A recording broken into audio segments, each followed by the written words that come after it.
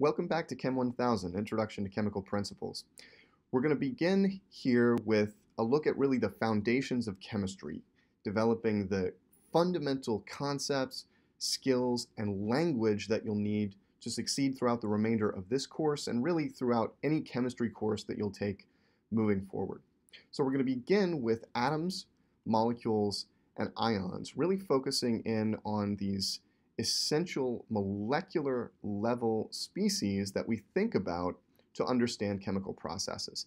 And this is based on the second chapter of the Chemistry OpenStax textbook, second edition, and that's the textbook for Chem 1000 at this point. So make sure you've read through that either before or after watching these videos to really solidify your understanding of these topics.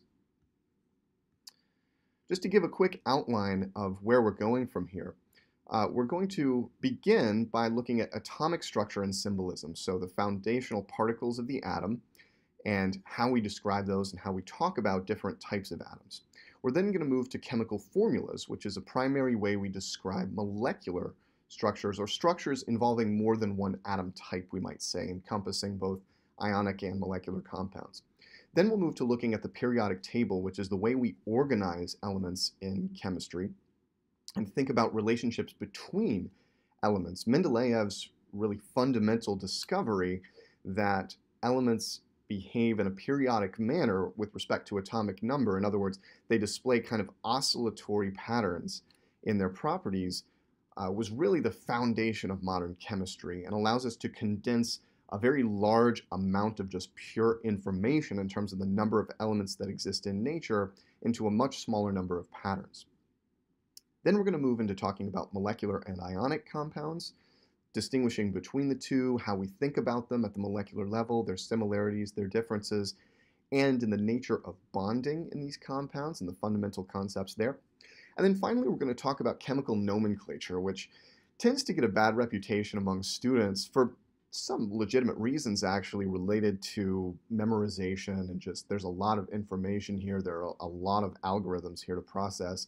I'm going to try to make the argument to you that nomenclature actually does serve some valuable purposes.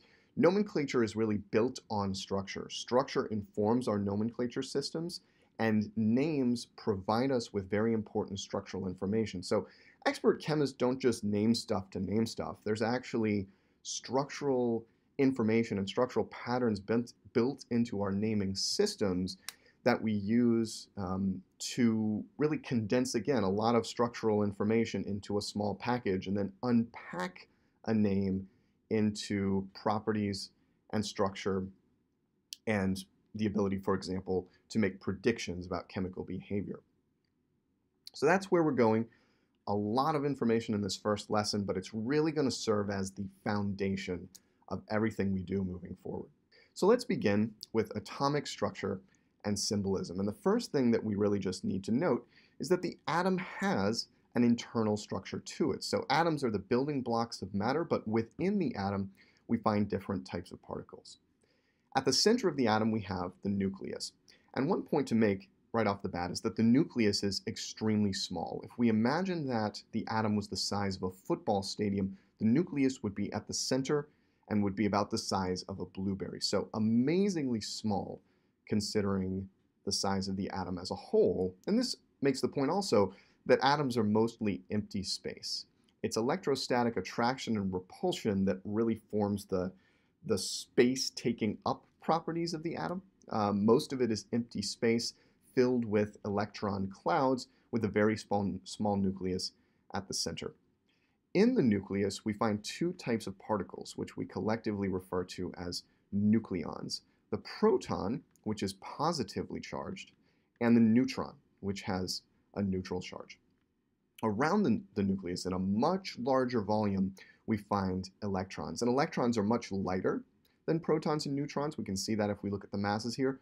And they have negative charge. So they have opposite charge of the protons in the nucleus, and that attraction between the opposite charges of the proton and electron on some level holds the atom together. So these exact numbers are not super important to keep in mind. One thing I'll point out about the charge, so this is the charge listed in units of coulombs, but you'll also see um, this referred to as the elementary charge. and it's assigned the letter E. And so for a proton, you'll see this listed as plus E, and for the electron, you'll see this charge listed as minus E in some cases. And we often just think in terms of units of the elementary charge. So whenever you see this, for example, in a chemical formula, that's units of elementary charge. One of the reasons it's so important to think about the particles within the atom is that the counts of particles inside an atom really defined elements isotopes, and ions. And we'll talk about what those terms mean a little bit later, but these counts of nuclear particles are key to cataloging the elements and understanding differences between the elements at the atomic level. The most important number, I would argue, for defining an element is the atomic number Z. And this is simply the number of protons in the nucleus. Hydrogen has one, helium has two, lithium has three, etc. Atomic number defines the elements. So all of the atoms of carbon, for example, that have ever existed and will ever exist have six protons in their nucleus. Having six protons in the nucleus is essentially the definition of carbon as an element. We also talk about the mass number, and this is typically given the letter A.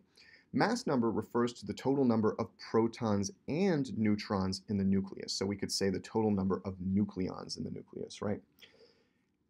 Elements are defined by their atomic numbers, but can differ in mass number. And elements,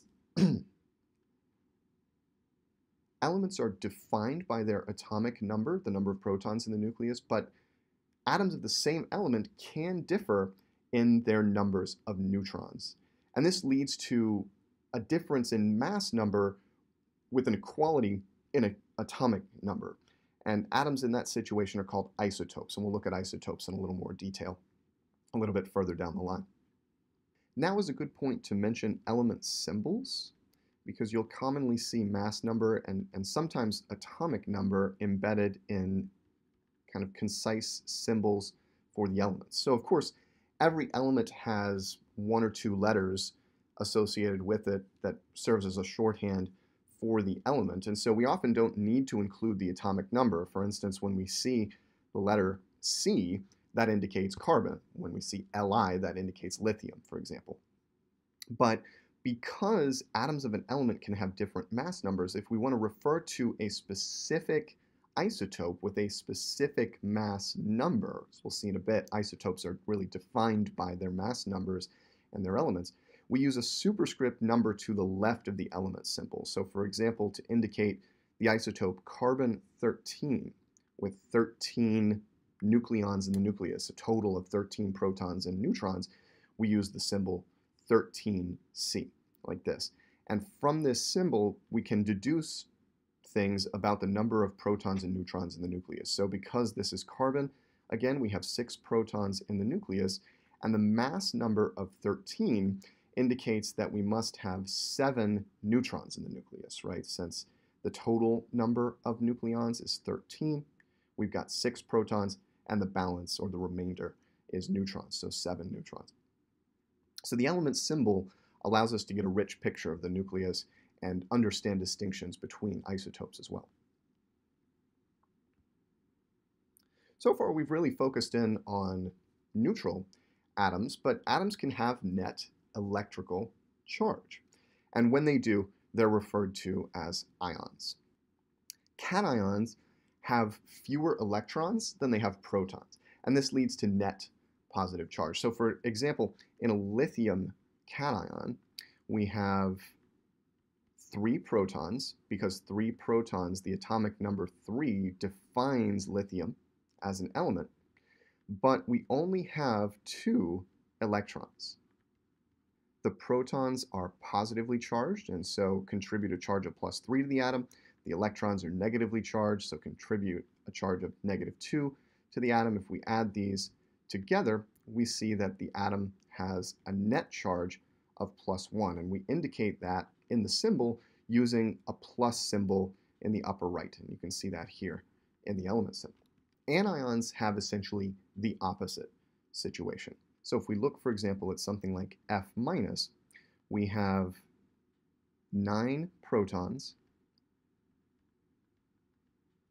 because 9 protons defines fluorine as an element, we have 10 electrons. 9 protons give us a net charge of plus 9 in the nucleus, and the 10 electrons around that nucleus correspond to a charge of negative 10. If we add these together, we see that the ion has an overall charge of negative 1, and we indicate that in the symbol with this negative sign in the top right of the uh, atomic symbol.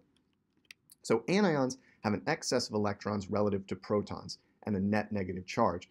A little bit later, we'll see that there are patterns in some elements on the periodic table in the types of ions they form. And thinking about the numbers of electrons that we see here, in particular, these numbers 2 and 10 are particularly special, we can understand this trend in the charges of ions that form of the various elements.